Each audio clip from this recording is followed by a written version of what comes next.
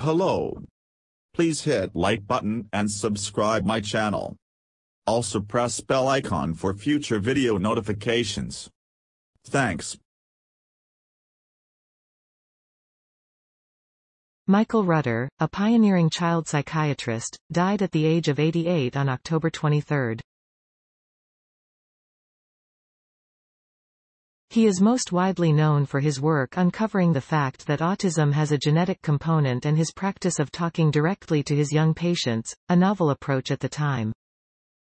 He planned to become a medical doctor like his father, the New York Times reports. At the same time, his studies made him curious about the brain and how it works. He was advised to think about child psychiatry. In 1955 he graduated from the University of Birmingham Medical School in the UK, and he then completed fellowships in London and New York. Please support my channel to grow by pressing subscribe button and the bell icon, we will notify you technological news. Thank you.